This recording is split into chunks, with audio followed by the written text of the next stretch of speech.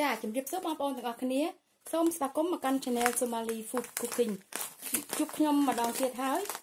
អឺថ្ងៃនេះនាងខ្ញុំនឹងមកបង្ហាញបងប្អូនពីរបៀបធ្វើតប៉ែដំណាប់ខ្មៅតប៉ែដំណាប់ខ្មៅខ្ញុំមានតប៉ែខ្ញុំមានមេតប៉ែអឺចំនួន7គ្រាប់7គ្រាប់នេះខ្ញុំដាក់អង្ករ1គីឡូតប៉ែមេតប៉ែរបស់ខ្ញុំវាមានបែបនេះខ្ញុំទិញពីស្រុកខ្មែរមកខ្ញុំដាក់7គ្រាប់ ចំណុះអង្ករ1គីឡូបន្ទាប់មកខ្ញុំយកអង្ករនេះទៅលាងទឹកឲ្យស្អាតរួចហើយខ្ញុំយកវាមកដាំចាខ្ញុំយកវាមកដាំនឹងឆ្នាំងដូចដាំបាយចឹងមកដាំវាតតែឆ្អិនបងប្អូនព្រោះធ្វើតប៉ែនេះកាលណាបើសិនជាយើងដាំអង្ករដាំបាយអត់ឆ្អិនទេវារៀងរឹងក៏អត់ឆ្ងាញ់ដែរទន់ពេកក៏អត់ឆ្ងាញ់ដែរយើងដាំវាឲ្យល្មមឲ្យវាឆ្អិនល្មមមិនរឹងពេកហើយក៏មិនជ្រេពេកដែរ ចាខ្ញុំដាក់ដាំវារហូតតតែឆ្អិនមកឥឡូវវាចិត្តឆ្អិនហើយ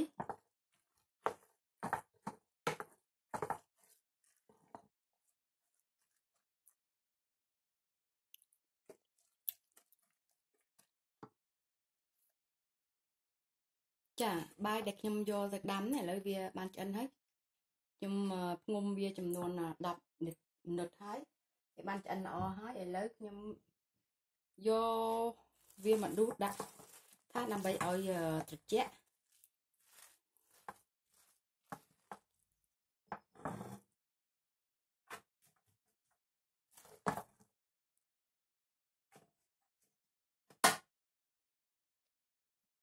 អង្គដែលខ្ញុំយកទៅដាំវាឆ្អិនហើយខ្ញុំដួសដាក់ថាស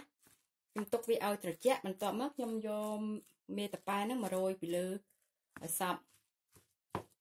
ចាចាំជួបគ្នានៅពេលអង្គនឹងពេលបាយដំណើបនេះត្រជាក់ខ្ញុំនឹងប្រាប់ពីវិធីបន្តទៀតតែនេះខ្ញុំបានយកទៅដាំឥឡូវវាត្រជាក់ហើយបន្ទាប់មកខ្ញុំយកមេមករោយវាពីលើរោយឲ្យសព្វខ្ញុំសូមជម្រាបបងប្អូនថាបាយនេះបើបងប្អូនអាចយកទៅដាំនឹងឆ្នាំងដាំបាយមួយទៀតក៏បានដែរអឺឆ្នាំងគេហៅ auto freezer ដាំនៅឆ្នាំងនោះក៏បានដែរ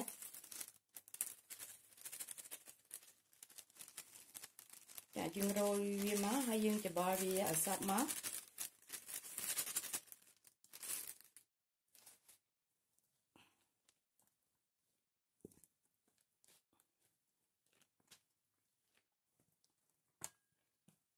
យើងត្រូវច្បាច់វាឲ្យសព្វនឹងមេនឹងមកស្រួលធ្វើទេបងប្អូនតប៉ែអត់មានពិបាកធ្វើទេ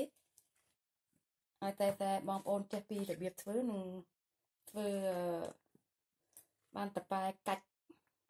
ល្អទៀត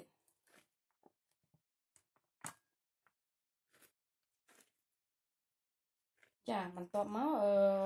ខ្ញុំយកវាទៅដាក់ក្នុងឆ្នាំងរួចហើយខ្ញុំទុកវា2យប់3ថ្ងៃតែសារខ្ញុំនៅស្រុកនេះវាត្រជាក់វាមិនកាច់លឿនទេវាត្រជាក់ តែតែខ្ញុំបានធ្វើវានៅពេលកាច់ក្តៅតែមួយយប់គឺវាកាច់ហើយកាលណាវាកាច់ភ្លាមបងប្អូនយកវាទៅដាក់នៅក្នុងទូទឹកកកភ្លាមទៅកុំទុកយូរនៅខាងក្រៅបើទុកយូរវាជ្រិញវាទៅជាជូរជ្រិញតែប៉ែរបស់យើងញ៉ាំអត់ឆ្ងាញ់ទេវាកាច់ភ្លាមយើងត្រូវតែយកវាដាក់ក្នុងទូទឹកកកភ្លាមបើបងប្អូននៅស្រុកខ្មែរក្តៅតែ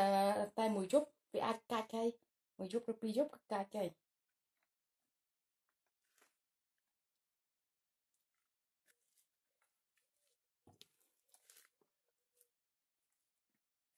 បងប្អូនអាចដាក់ក្នុងប្រអប់ក៏បានដែរ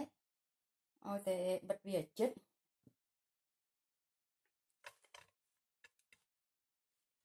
ចាំបងប្អូនចង់ពូតវាជាដុំដុំក៏បានតែខ្ញុំអត់ពូតទេថ្ងៃនេះខ្ញុំដាក់វាទាំងអញ្ចឹងទៅ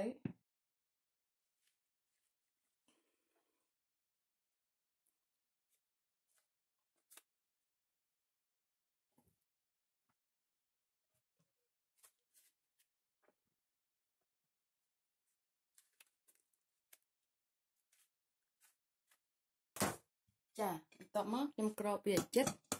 ខ្ញុំទុកវាក្នុងរយៈពេល2យប់ក្រោកចិត្តហើយត្រូវយកកណាត់មកក្រោកវាកសែងមួយម៉ោងក្រោកវាចងវាចឹងមក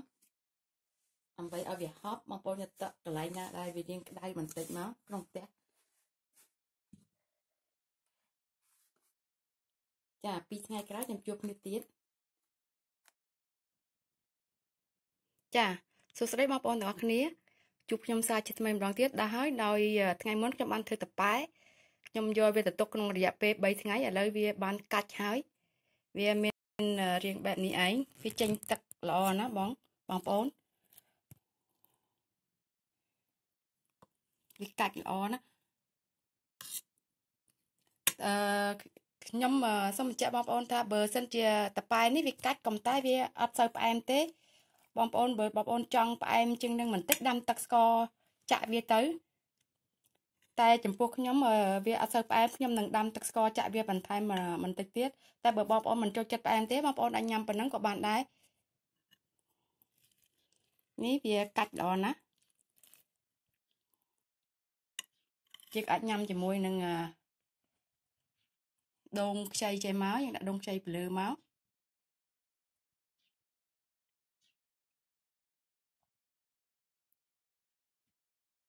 ចាតាប៉ែដែលនេះខ្ញុំបានធ្វើនេះវាបានចាប់សាប់គ្រប់ហើយហើយខ្ញុំក៏សូមអរគុណបងប្អូនដែលបានចូលមកទស្សនាវីដេអូរបស់ខ្ញុំជម្រាបលាជួបគ្នាលើកក្រោយបាយបាយ